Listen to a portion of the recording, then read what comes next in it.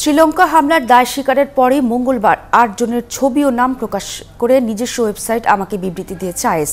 আইএসের দাবি, এই আট আইএস কর্মী শ্রীলঙ্কার বিভিন্ন জায়গায় আত্মঘাতী হামলা চালায়। আইএসের বিবৃতিতে বলা হয়, ছবির ব্যক্তিরাই যুক্তরাষ্ট্রের নেতৃত্বাধীন জোট ও শ্রীলঙ্কার খ্রিস্টান সম্প্রদায়কে লক্ষ্য করে হামলা চালিয়েছে।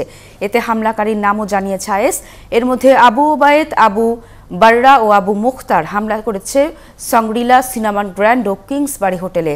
আবু হামজা, আবু খলিল ও আবু মোহাম্মদ হামলা চালিয়েছে কলম্বো, নেগম্বো ও বাক্তি কালোয়ার গির্জায়।